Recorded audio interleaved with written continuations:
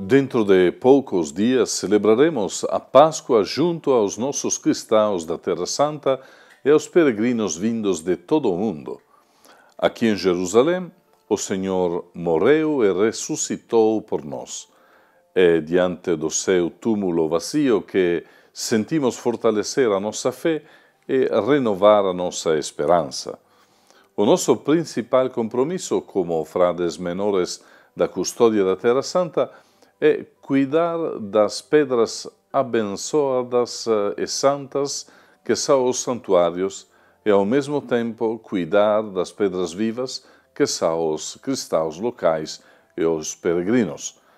É nosso dever dar a todos a oportunidade de ver e tocar os lugares onde Jesus viveu, morreu e ressuscitou por nós.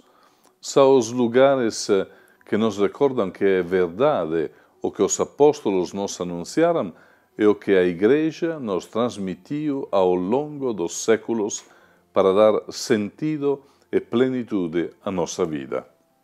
Tornar os santuários mais acolhedores, realizar atividades pastorais e sociais é um serviço que fazemos como coração em nome de toda a Igreja. Estamos também a serviço de uma igreja ferida por tantos anos de conflitos e guerras, e agora também pela devastação do terremoto.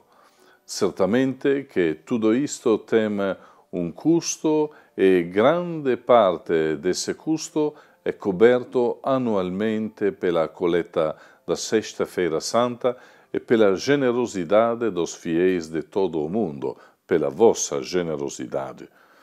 Nessa ocasião, nós, frades da Custódia de Terra Santa, nos fazemos mendicantes e recorremos à vossa generosidade para que a Sexta-feira Santa seja um dia de solidariedade universal, um dia em que os cristãos de todo o mundo abracem concretamente a Igreja Mãe de Jerusalém.